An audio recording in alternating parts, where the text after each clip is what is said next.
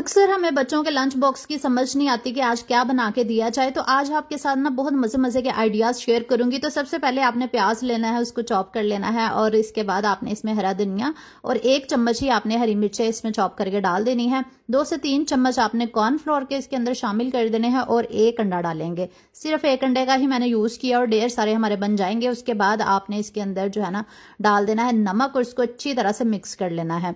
Mix करने के बाद ये देखें, ये स्टफिंग तैयार हो गई फिर आपने कुछ ब्रेड के स्लाइसिस ले लेने जितने आप बनाना चाहते हैं, उसी हिसाब से आप ले लीजिएगा और इनके किनारे कट कर लीजिएगा। किनारों को बिल्कुल नहीं फेंकता आप इसके ब्रेड क्रम बना सकते हैं। फिर सेंटर से इस तरह से कट कर लीजिएगा, जिस तरह आपके बच्चे शौक से खाते हैं, वो वाली शेप आप बना के दे सकते हैं।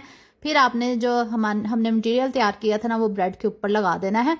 उतनी देर में आपने वीडियो को लाइक कर देना है कमेंट और फॉलो भी कर लेना है रिपोस्ट लाजमी कर दिया करें एरो के बटन पे जाके।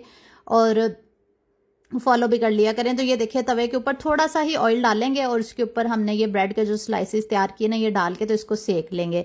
मैं इस तरह की बहुत सारी वीडियोस शेयर करती हूँ। मेरे व्लॉगिंग चैनल पे भी आती हैं। आप मेरी बायो में जाकर ना मेरा व्लॉगिंग चैनल को भी सब्सक्राइब कर ले। वहाँ पे बच्चों के लंच बॉक्स के हवाले से वीडियोज़ मील प्रेप भी आती हैं और भी बहुत सारे आइडियाज़ आते हैं। तो यूट्यूब को ज़रूर ज्वाइन किया करें। अच्छा जी, यहाँ पे दोनों साइड्स को ना आपने अच्छे से कुक कर लेना ताकि इनका गोल्डन सा कलर आ जाए। आपने इनको कच्चा बिल्कुल नहीं रहने देना, अंडे को अच्छी तरह से कुक कर लेना है ताकि स्मेल वगैरह भी ना आए। फिर बच्चे बहुत शौक से खाते हैं। आप बच्चों को लंच बॉक्स के लिए ये बना के दे सकते हैं। और इसके अलावा आप टी टाइम के लिए बना सकते हैं या फिर मेहमानों के लिए भी बना के आप उनको सर्व कर सकते हैं। ये देखिए कितने ज़बरदस्त से बन के तैयार हुए ये ज़्यादा ऑयली भी नहीं है। और ना ही ज़्यादा अनहेल्दी बनाया है। तो ज़रूर ट्राई कीजिएगा इस मज़ेदार सी रेसिपी को। और एक और आइडिया आपके साथ शेयर करने जा रही हूँ, वो भी इनशाला आपको बहुत ज़्यादा पसंद आएगा। यहाँ तक अगर आपको वीडियो पसंद आई है तो आपने ज़रूर लाइक करके ना आगे शेयर कर दिया करें अपने फ्रेंड्स के साथ। अच्छा जी नेक्स्ट वीडियो नेक्स्ट जो मैं आपके साथ रेसिपी शेयर करने जा रही हूँ, उसके लिए आपने ना प्याज सबसे पहले चॉप कर लेना है। ये हमने इकट्ठे कर लिए थे दो तीन रेसिपीज़ के लिए, लेकिन आपने इतने ज़्यादा नहीं लेने, सिर्फ़ एक छोटे साइज़ का ही लेना है। और उसके बाद आपने आलू ले लेने हैं, तीन से चार अदद, और उनको ना छील के कट कर लेना है सबसे पहले।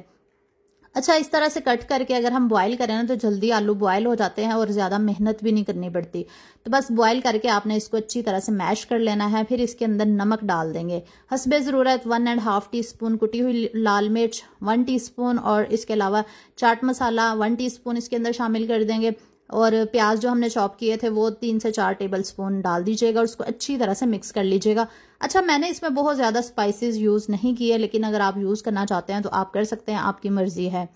बस उसके बाद आपने ब्रेड के किनारे उतार देने हैं और मैंने ब्रेड क्रम भी बनाने सिखाए हुए हैं आप लोगों को। अगर आपको नहीं वीडियो देखी, आपने तो ज़रूर जाके देखे मेरे यूट्यूब चैनल पे। हर चीज़ मैं सिखाती रहती हूँ।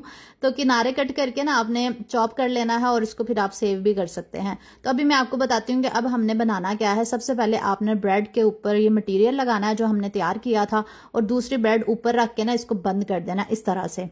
बंद करने के बाद आपने इसके रोल कट कर लेना है। ये देखिए, मैंने सारे रोल कट कर लिए। एक मैं आपको कट करके दिखाती हूँ कि मैंने कैसे कट किए हैं। दोनों ब्रेड को स्टिक कर दिया था, सेंटर में स्टफिंग रख के तो फिर इस तरह नाइफ की मदद से आपने कट कर लेना। ये देखिए, रोल बन गया ना, कितने ज़बरदस्त लग रहे हैं। तो अभी मैं आपको दिखाती हूँ, जब ये फाइनल बन के तैयार होंगे ना आपको बहुत पसंद आएगी ये रेसिपी। डिफरेंट सी रेसिपी आज मैंने आपके साथ शेयर की है। बच्चों को भी बहुत पसंद आएगी। फिर आपने आधा कप दूध ले लेना है, उसके अंदर एक अदद अंडा डाल देना है। अच्छा मैंने दूध इसलिए लिया क्योंकि अंडों में ना ये ब्रेड जब हम कोट करते हैं ना, बहुत ज़्यादा सोख कर लेती है। अंडा बहुत ज़्यादा सोख कर लेती है, इसलिए हम दूध का यूज़ कर लेंगे ताकि अंडा ज़्यादा जो है ना वो ना लगे, क्योंकि वैसे भी इतनी महँगाई अंडे इतने ज़्यादा इस्तेमाल नहीं होते। तो बस एक अंडे के साथ ही हम सारे रोल जो है ना वो कोट कर लेंगे। तो बस एक अंडा डाल के उसके साथ आपने सबसे पहले डिप करना है रोल, और फिर उसके बाद ब्रेड क्रम के साथ आपने इसकी अच्छी तरह से कोटिंग कर देनी है। ये देखिए, इस तरह ना प्रेस कर करके।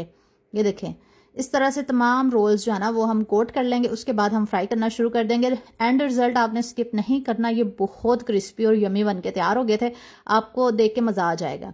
बस आपने इनको शैलो फ्राई कर लेना है। अच्छा ये फ्राई करने से ना, जो ब्रेड के अंदर ऑयल बिल्कुल नहीं जाता, ये सिर्फ़ ऊपर से फ्राई होती है। अभी मैं आपको ना तोड़ के भी दिखाऊँगी तो फिर आप कहेंगे कि वाकई अंदर ऑयल बिल्कुल नहीं जाता, क्योंकि ये अंदर से ब्रेड वाइट ही रहती है।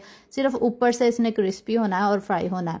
अभी यहाँ पे मैं क्लिप ले रही थी ना, साथ ही लाइट चली गई। आपको पता आजकल इतना लाइट का मसला है हमारे यहाँ तो बहुत ही ज़्यादा जा रही है। आप किस कंट्री से मुझे वॉच कर रहे हैं कमेंट में ज़रूर बताया करें या किस सिटी से देख रहे हैं, ज़रूर कमेंट कीजिएगा। तो ये देखिए, अभी मैं आपको दिखाती हूँ, जब लाइट आई थी, फिर मैंने ये वाला क्लिप रिकॉर्ड किया था। ये देखिए, अंदर बिल्कुल भी ऑयल नहीं गया, कितनी ज़बरदस्त बन गई, माशाल्लाह से तैयार हुए हैं। इसको कैचअप के साथ सर्व कीजिएगा इनशाला सबको बहुत पसंद आएँगे। वीडियो को ज़रूर आगे शेयर किया करें रीपोस्ट भी कर दिया करें। अल्लाह हाफिज़।